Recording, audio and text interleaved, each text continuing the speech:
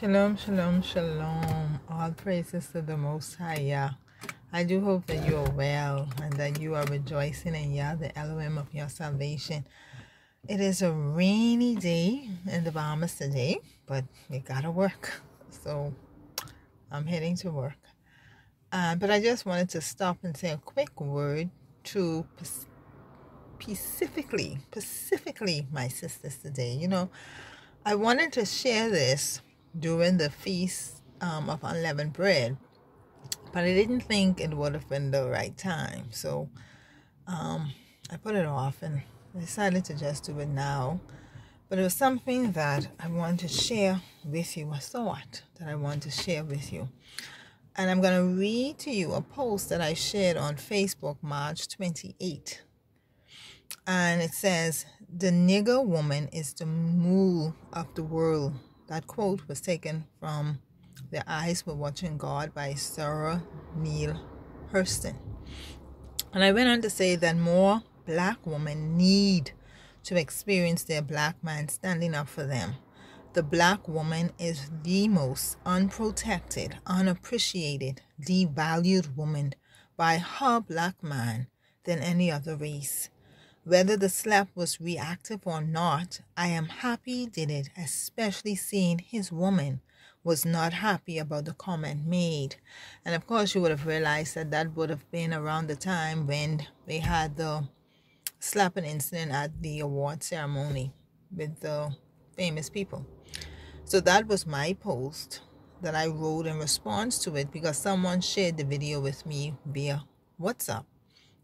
I had seen the news headline somewhere on Facebook or something, but I didn't pay any attention to it. But when the video came to me without opening it or listening to it, I watched it. And I saw when he smiled and looked at her, and then I saw her face, and he got up, and I was shocked at his response. But immediately, my first thought was he, you know, he wanted to protect her. Okay, so you know, there's a there there had been a lot of there is maybe, I don't know, feedback about him regarding that. But that was my takeaway. Because a black woman, as a black woman, I don't know what it is to feel protected. And I find that a lot of our black men, we they go in on us and they criticize us and they put us down but very few, and we have had very few incidents where the black man publicly stood up and supported, defended the black woman. You understand me?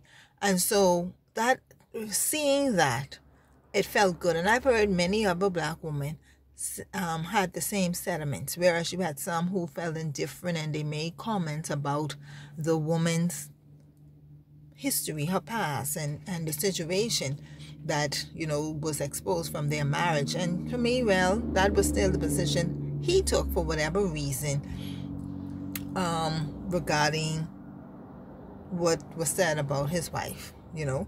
So but there were some who felt that because it was her and what she had done he should not have done it. I've heard i even saw a comment by another black woman saying that protecting or defending a woman who is unworthy of that. And my thing is, well, he decided to stay for whatever reason and whatever. But that's not the main thing. So during the Feast of Unleavened Bread, no, before that, I think I heard her response to it because I was waiting to hear the woman's response. And it was something to the point where she didn't appreciate it. She said that he overreacted, and she, this is what got me. She is not the woman, a woman that needs to be protected. And when I read that, or saw them anyway, I was like, what? What? You know, she doesn't need to be protected. And I was like, what kind of woman doesn't need to be protected? And I felt some kind of way because I had already made this post. you understand me? And I stand by it. I still feel that there are, we as black women, we need that. We are unprotected, we are unappreciated, we're devalued. We are actually the nigger, the mule. We are the mule of the world. This is what Zora Neale Hurston wrote. And I, I agree with that. Our history um, portrays that. But when I hear this sister saying she doesn't need to be protected, I was like, wow, what kind of a woman of any race feel as if she doesn't need to be protected? And I said, um, first I thought about her husband and how he must have felt knowing that he went through all of that there were all kind of negative things that were said about him and i haven't heard any response from him yet regarding except when he apologized to the individual he had hit but to have your wife come out and say you overreacted and you didn't need to be protected i said that brother must have felt emasculated all the way down. You understand? And I was like, what kind of a woman? Feel as if she is with a man, her husband, and she don't need him to protect her? I said something is very wrong with that because what is the job of your man? I believe that one of the a man's main responsibility to his woman is to protect her. In fact, that is the reason I believe um, the most I, I mean, besides from us being a help me to a man, but his job and his duty is to protect, to provide. That that that all comes in with covering. That's what a covering does. It protects. And so when you have sisters saying, "Oh, I don't need a man to protect me," sister, you out. Like I heard somebody say, "Out of pocket." You out of pocket. You out of order. You are really out of order. And this is what I wanted to say to my sisters. If you have that mentality where you don't need a man to protect you, sisters, you got to check yourself. You really have to check yourself because you're out of order. Something is going on. Do you understand? Because we were created, our position as women is one that requires protection for all kind of reason physical mental emotional we are vulnerable you know i know for me as a woman that is one of my greatest desire to have a man over me where i can feel protected. And that is why this period where i've been single and, and went through that divorce i feel sometimes i feel like I'm just all alone. And and I supposed to have someone there to um that I can know that I am safe that I know if something happens regarding me he is going to be the one to say no baby I I get this. And to to be that that covering and that is what I know I need and I thank the Father that he brought me to the place where I truly understand the purpose of a man and a woman and his woman you understand? I thank the Father. And only the Most I could have done that. You know, because after my divorce, I too had the attitude and I was angry and I was bitter. And I didn't even realize I was so bitter. I was becoming so bitter. But my attitude was at that time too. I don't need no man to protect me. I was saying to the Father, look, at, I just need to make some money, take care of my two children, and I'm good. But from then to now, and having to be here and you're dealing with everything and you don't have no one to talk to, you don't have no one to turn to, you don't have no one to just give you a support, emotional support, um, mental support, um, someone to just say, hey, what you think about this? And to, to go to them with ideas and let them say to you, well, you know, I think you should do this or I got you with this or whatever. Listen, that is a, that is a real, really, that's a big part that is really missing. And I understand now how important it is. I didn't get that in my marriage, but now that I'm seeking the Father and I'm learning His way and I'm looking at the from a scripture's point of view and a break point of view, I understand the importance of it. So this is why I can too say to sisters who feel as if you don't need a man and you don't need a man to protect you, you're broken. You're broken. And you're saying that from a broken place. And we need healing. We need healing. And it's so amazing. I got something last night that we're in the month, a new month. Um, let me see if I can find it. I think, yeah, it's so good. Because we're in the new month of, yes, I'm to find it. Yes. We're in the new month, Rosh Chodesh Iyar. And this month, let me read this because this is so beautiful and powerful. Man, you understand, I didn't even intend to do this. But the month of uh, uh, Yah is a set, and I don't know if I'm pronouncing it right, but it's spelled I Y A H. It's a set time to obtain healing wisdom. Not just knowledge that pops off, but wisdom that gives you the awareness of what you need healed, the protocols for the actions you need to take to heal, and the empowerment of the Ruach HaKodesh to pick up your mat and walk. Iyar is a month of oh this is Hebrew here. Um Refuah Shlema, but it means and I'm gonna spell that R E I don't have on my glasses. R E F U A H S H L E M A complete healing. This is now see I had planned to do it a while back, but this fit right in with where we are because the, this is the month. We need complete healing sisters.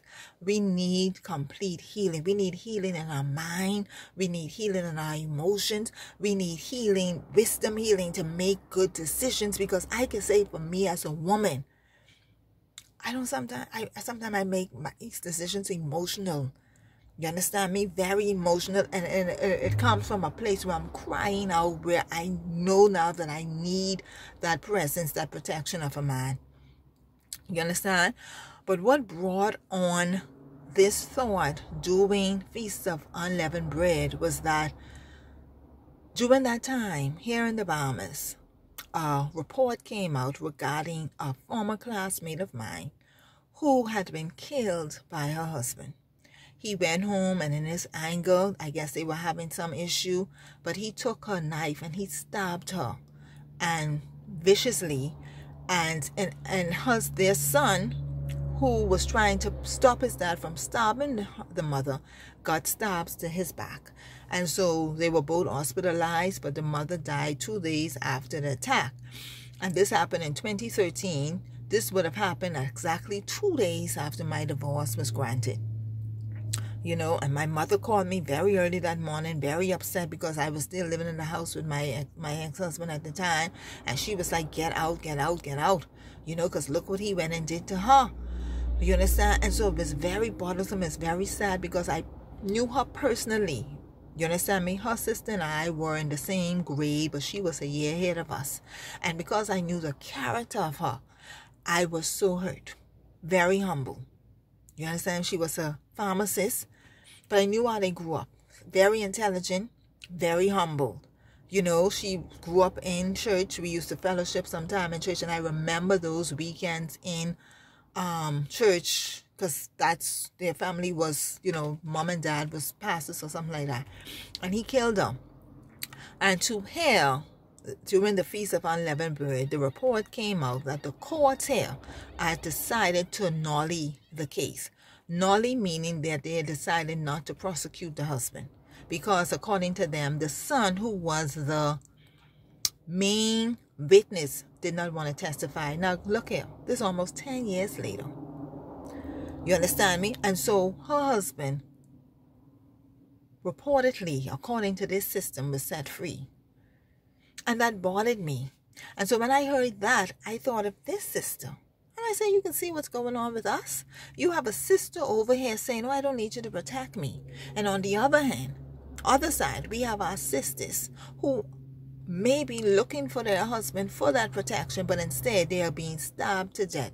They are being beaten. They are being abused viciously. You you you you understand? They are being, I mean, just demoralized in some instance. We had a sister I, I may have mentioned this who children, daddy ran the car over her while she was holding the baby in the hand. We had another young sister whose boyfriend shot her to the head while she was breastfeeding their one month old. But we have another sister here who had a man jeopardize his career to defend her. And her response is, I don't need to be protected. Do you see? And so I, I was like, something is really wrong with that. So my message to our sisters, we all need to be protected. We need to be protected. We need to have men who are going to protect us, who are going to fight for us, who are going to stand up for us, who is who who are going to defend us, who are going to support us. They are going to protect us not only physically, but mentally, psychologically, emotionally, spiritually. We are in the place we were created by the Most High to be protected. And any sister who was saying they don't need that, Mama used to say you're flying in the face of God. Because you're saying to the Most High, you didn't know what you were doing. You understand me? And so if any sister I'm watch you who's watching this who have that view, I, I'm gonna encourage you to, to repent and ask the Most High to heal your emotions, to heal your mind, heal your spirit, and help you align yourself back up with His purpose for you as a woman. That's what I want to do. I want to encourage my sisters. Listen, I have been abused. I've been burnt and left for dead. Listen, when I look back years ago what I walked through, I felt like I was just the lowest of all females. The lowest. Do You understand me? Because there's nothing like when you would have entered into a wedding agreement, a marriage agreement, covenant with a man, and to have him be the one to cast you aside and, and whatever. My former classmate husband killed them. We've had many sisters whose husband have treated them um, like that. You know, just beat them down and caused them to lose their mind or even took their life. Whereas we have sisters, other sisters who have the man in their life wanting to be to them what they need to protect them, to defend them. And that sister saying, I don't need you, you emasculating your man. Something is wrong with the sister who take that position. Something is really wrong with any sister who takes that position. And I want to encourage you to check yourself. You need to be completely healed. You really need to be completely healed. So if you are in that place right now in this month, I want to encourage you to seek the Most High for complete healing. Ask Him to heal you. We need healing. I need healing. You understand? I'm before the Father right now, seeking Him to bring order to my life, to bring order to my home. Because being a single woman, it's not easy. And it, it makes you feel vulnerable. And this is the reason why I thank the Father for this head covering. Because since I started covering my head, believe it or not, I feel more protected. I feel safe. And the reason I feel safe is because I am not getting all of that attention from males. You understand me? Because I guess this head covering is making a statement about me. And so I'm not getting that attention. So I know the man who's going to approach me, he's going to look past this and see me and whatever. So I thank the Father for this. You understand me? We all as women sisters, we need to be protected. You understand me? We need to be protected and we need to allow the men, the males, to do that for us. You understand me? So, and I wanted to say here, I'm not saying to you now to go out and just get a man to say, oh, a male to say, oh, he's going to protect me. You understand me? You need not just a good man. We need good men. But you need the right man. Do you understand me? The right man for you who is going to cover you. You understand? So that's what we're waiting on. We are looking and waiting for the right man, not just a good man. Because a good man, my ex husband was a good man.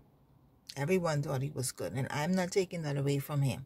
But he wasn't the right one for me because he was not capable of providing for me the covering that I need. And so you need the right man who was going to provide you with that covering, who was going to be there for you to support your emotions when you're feeling vulnerable. He don't make you feel as if, oh, you're just too emotional. Oh, you just need to get it together. But he is going to comfort you, console you, and try to calm you down and try to be that support for you. You need the right man who's going to support all of your initiative, your giftings, You understand who can be there for you to back you up? If someone try to take advantage of you, he's going to defend you. And you need that man who's going to be there. If someone come trying to be harsh with you, you can step in the front and say, uh, no, no, no, not her. You know, you got to go through me. So yes, we need that. We need that. And so I want to encourage you, like me, wait on that man who's gonna the right man to be your protection and your covering because we need to be protected, sisters. We need to be protected, and that's all I want to say, share with you today. I think it was something else, but I'll make another video on that because I'm sure it was something else, not about the same thing. But anyway, to Yah be all the glory and all the praise. So I hope you hear me and um, you understand what I'm saying. But sister, you have a man there who is providing that covering for you and protecting you and looking out for you. Let him be. You know, pray for him in his shortcomings. Um, but don't emasculate your man. Don't ever look at him and say, I don't need you. I don't need you to protect me. I don't need. Because I can be honest with you, sisters. I don't know how some of these brothers is be intimate with some females. Because I don't know. Because you you taking away all of his his man you just you just basically cut off his manhood when you can take that position. How you expect him now to you know and and, and to what what you, if you saying to the man i don't need you to protect me and all that would you just need him for sex you understand? Come on, we gotta get it right. You just need him there for money. You know, something is wrong with that, sister. So if that's your attitude, your mindset, I want you to repent before the Most High. Ask Him to forgive you, to cleanse you. I tell you, I've been through this period of cleansing, going through it, because I need complete healing. And you do the same and ask the Father to bring you back in alignment with His purpose, the purpose for which He has created you. You understand? You need to be in alignment because you're out of alignment. If that's your mindset, you are out of alignment with the will of the Most High for you as a woman. So, shalom, shalom. Blessings to you. I love you. And um, we, are, we, are, we are sisters. And I'm saying this to you sister to sister. Okay? We need to be protected. Allow that man, the right man, to protect you. Shalom.